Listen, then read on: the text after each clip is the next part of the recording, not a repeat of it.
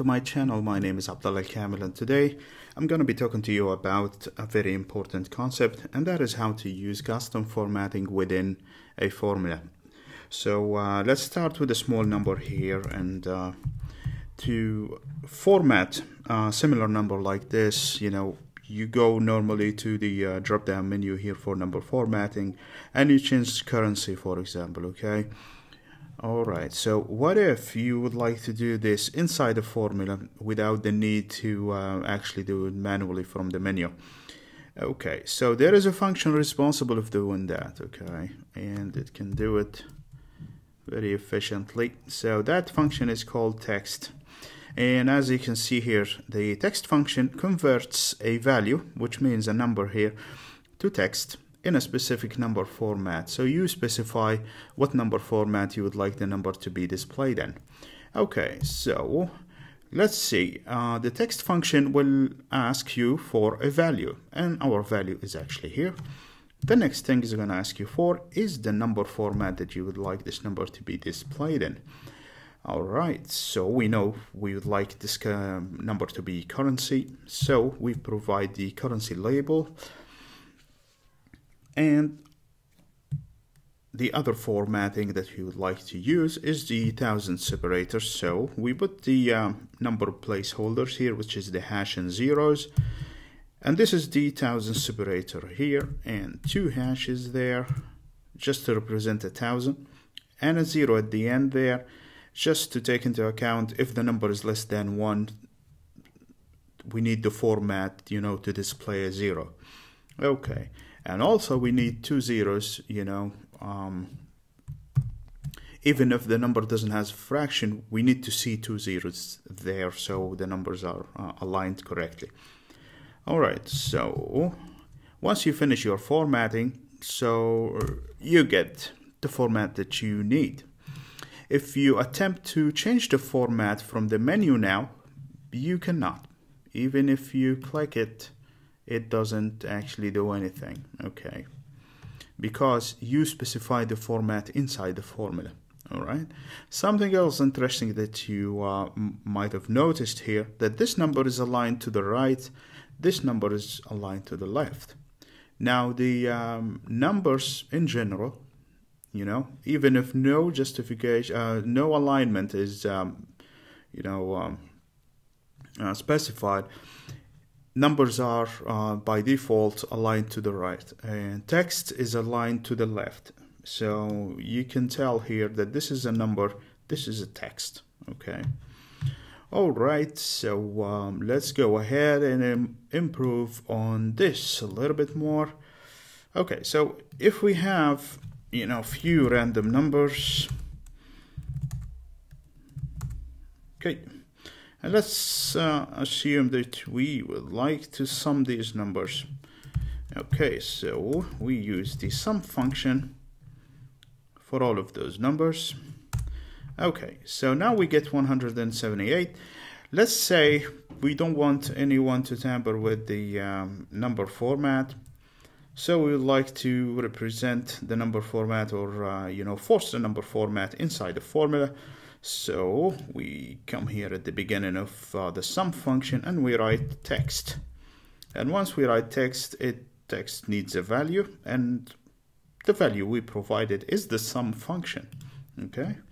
So rather than providing a cell reference, we're giving it, you know, the uh, another function, a nested function.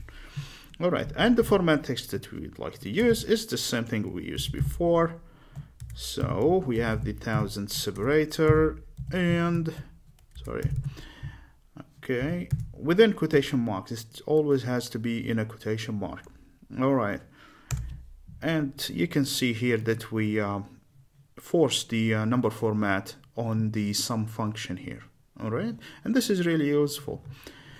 Okay, uh, something else that uh, the text function is, is really good at. Okay, because the text function always change the number to text. We can use that to reformat dates okay?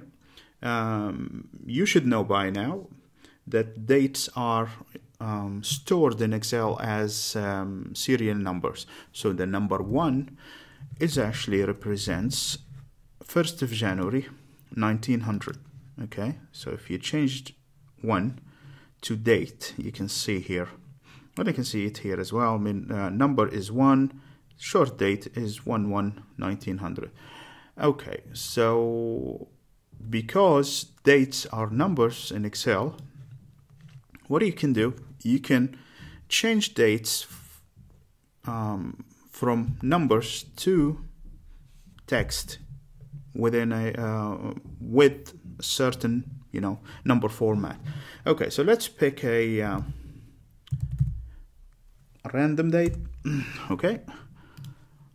And um, let's try and format this date here.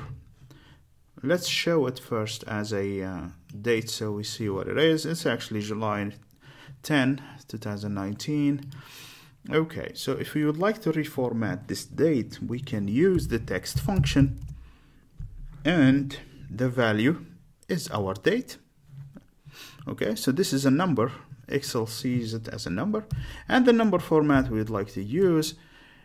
Sometimes you would like to use a um, you know something that you came up with okay? So something that I would like to use always with dates you know is to uh, to show the day and then show the day and the month as uh, three letters and the year as full four numbers okay?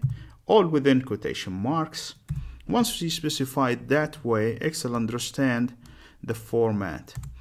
And it will show you as you can see here the day as three the day name as three letters here and you can see the rest of the format here as you specified it. If you go from three D's to four you will get the full name for the day. So you get Wednesday July uh, 10th okay and this is really useful and really good when you work with tables and you would like to show dates in a format that um, you know that you like to use. Okay all right. Okay so let's move on and see how we can use this um, to enhance uh, charts. Okay so let's go ahead and see if we would like to do a um, donut chart for these numbers here okay. So we get this donut charts. Okay uh, donut charts it's really good if you have the total number here the sum of all those numbers if you have it in the middle. Okay? So there's no way of doing it uh, with uh, the Excel features so you need to go around it. So the way to do that is you can go to insert go to shapes select a shape there like this one rectangular. Okay and with the rectangular selected go to the formula bar there and it can accept a cell reference. And we know that the sum of all those numbers is here okay? So yeah but remember it um, you know it can only accept a cell reference. It cannot accept anything else you cannot write a function here uh, like sum or you know. Okay and as you can see here the number is already showing. Okay so let's align it correctly and let's go ahead and remove the fill and remove the outline as well. Okay. All right and let's make this a little bit just a little bit bigger okay. All right. Okay. So uh, let's say we would like to add the word total to this number. You cannot add it here because uh, the rectangular shape will only accept a cell reference. But rather than doing that you can go to the cell itself where uh, you calculated the total and reformatted the number and just go at the beginning of the uh, formula and write between quotation mark total and then space and close the quotation mark and add the number sign and hit enter.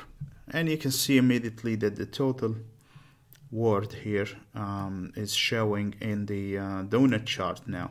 And it really makes the chart much easier to look at and really uh, really good.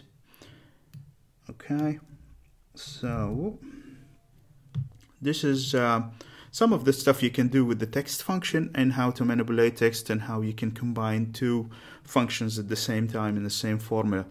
Uh, it is really useful when you have some you know number formatting in your head and you would like to use it in your function and you don't want anyone to tamper with it you don't want anyone to change it you know um, so this is where you can use the text function for. I hope you liked the video. I hope you find it useful. And if you have any questions please don't hesitate to uh, drop me a line. And uh, thank you so much for watching. See you next time